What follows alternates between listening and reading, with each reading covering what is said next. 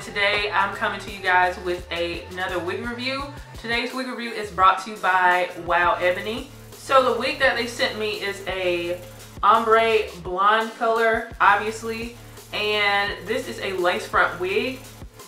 Um, the hair type is Chinese virgin hair and this is a medium cap with 160% density and it is 18 inches long. So you guys saw how long it was like before I curled it. Um, yeah, so I'm just gonna get into how I feel about this wig. Yeah, so um, when I looked at the color and how it looked in the pack, I was not happy with the color. I was kind of intimidated as well. So this is what it looks like. It has streaks of blonde in there and then this and then it has like a very like medium brown color throughout. So I was a little bit intimidated. I was gonna try to go in and do um, my own root, but I decided not to, and I just decided to put some wand curls in it. Put powder in it. I put my pressed powder in the parting space. So this color on me, it definitely transforms kind of like my whole look. I feel like I look like a completely different person with this blonde hair. This is 160% density. For me, I feel like it's on the thin side. Um, I wish it was a little bit more full just a little bit more full so I could get some volume like towards the bottom. And I guess I could do that if I like brush the curls out a little bit more. It'll get more fluffy. I do kind of feel like I wish it was a, a little bit more um, had a little bit more density to it.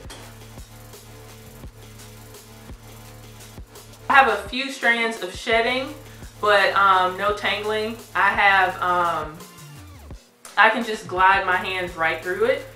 Um, this texture is Chinese virgin hair. So it does, so it's like a more silky texture to it. Noticed lately with my reviews is that my head is big. So I should not be getting medium caps anymore. I need to be getting um, large caps or the largest cap that they, that companies send because um, this is a lace front wig, so I didn't have to do all of that stuff that I usually do with like frontal wigs.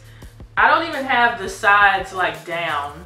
Like, I don't have the sides down at all. So, you can see like my natural edges if I didn't wear it like this. So, this cap is too small for my big head, but that's my fault. It's not the company's fault. Kind of like this wig. I do think the blonde is fun.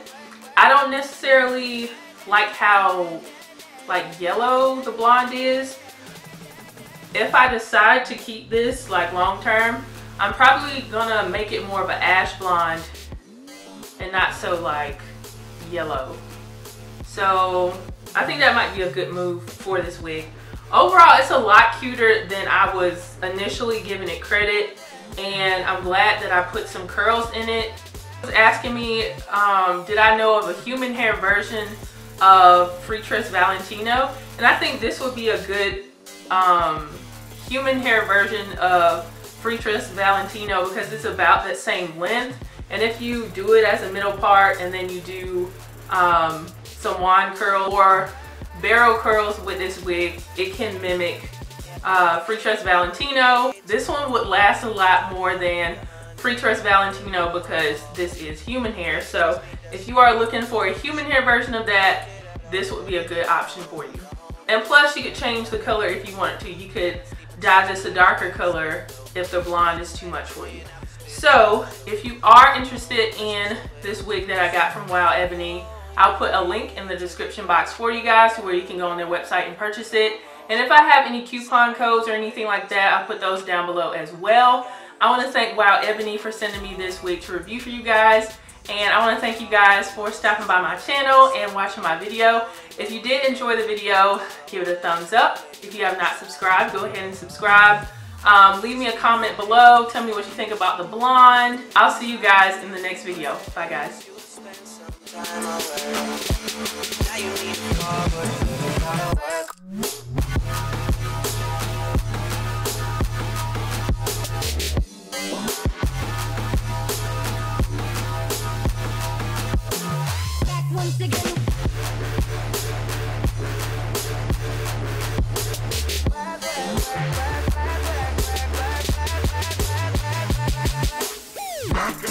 Once